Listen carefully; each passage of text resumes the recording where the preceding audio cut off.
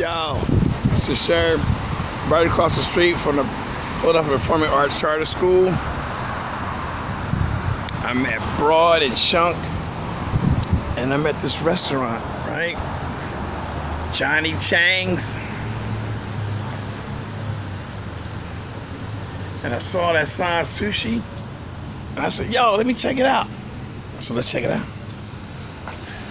It's the menu. Now, I'll be getting spicy tuna roll from all around. This is very unique. That joint is really spicy. And it's got some other stuff in it. It's really good. I got miso soup. And I got um, spicy tuna roll. And then I got spicy shrimp.